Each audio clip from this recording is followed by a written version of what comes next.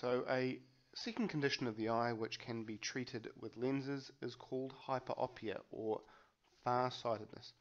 And this is when the focal length from the cornea to the retina is too long. So this is the cornea and this is the retina, you can see that the focal length is past the retina. And this causes problems in terms of vision, in which we're going to look at in the next animation. So what happens is that because the focal point is past the retina, you in usually end up with nearby objects appearing blurry and faraway objects appearing a lot clearer. This is usually caused by the eyeball being either too small or a problem with the curvature in the cornea. So what you can do is use a convex lens.